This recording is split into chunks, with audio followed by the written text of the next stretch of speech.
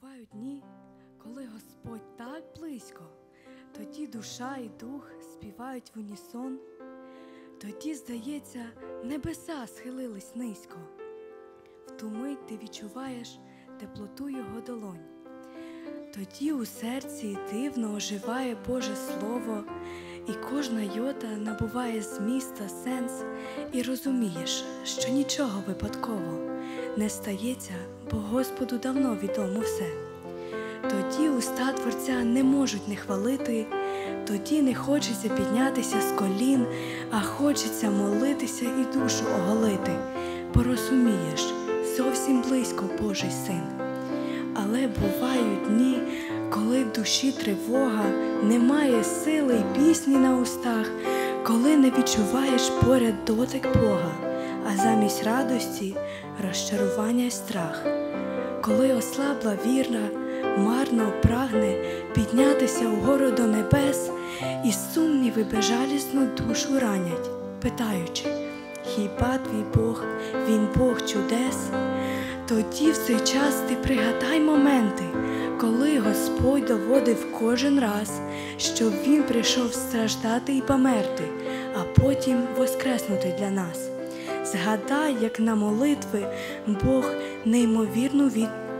відповідь приходив вчасно й непомітно, втирав сльозу і міцно обіймав, і вище, і вище роз і вщент розбиту віру відновлював щоразу Божий дух. Господь зміцняв, благословляв надміру, бо Він єдиний незрадливий друг. Згадай, що Бог приходив як цілитель, який не тільки тіло лікував, а й серце наше, той потік розлитий, щоразу до життя майстерно повертав, і з року в рік Господь доводить вірність за сторінкою гортаючи життя, нагадує, що кожен день все ближче вічність, в якій немає ні початку, ні кінця. Ми розпочали новий календар, в нім будуть дні, в яких Господь так близько, і будуть дні, в яких покласти на вівтар нам доведеться найцінніше і схилитись низько-низько.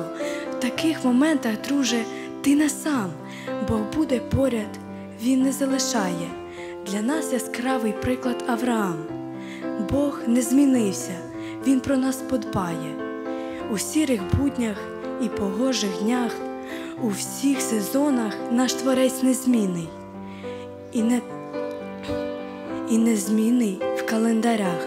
Бог був і є, і буде завжди вірний. Амінь.